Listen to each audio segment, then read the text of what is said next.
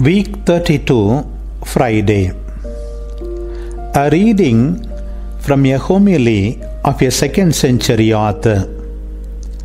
Let us turn to God who has called us. I regard my counsel about self control and chastity as very important indeed, because anyone who heeds it will save himself and help to save me too, his mentor.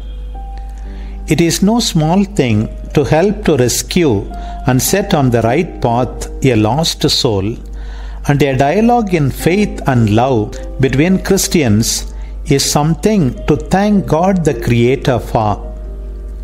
Let us persevere then in the faith and in holiness of life and open our hearts to God in prayer, remembering His words. While you are still speaking, I will answer, Behold, I am with you.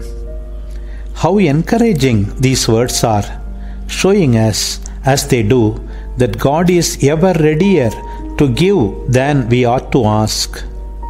His generosity is open to all of us, but we must not envy one another such good fortune. God's message brings delight to those who obey Him, but judgment to those who disobey. And so, brethren, everything conspires to make us repent, and we must not lose the chance of turning to Jesus and answering His call. We shall all experience His compassion if we live disciplined lives and master our souls by not yielding to self indulgence. Remember that the day of judgment is coming like a blazing furnace, and the heavens shall melt, and all the earth too like molten lead in the fire. And every human action, even the most secret, will be revealed. Almsgiving is one form of repentance and a good one too.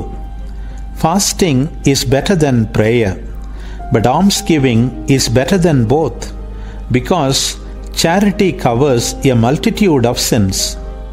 Prayer is a sure shield against death, and blessed is the man found perfect in these three ways.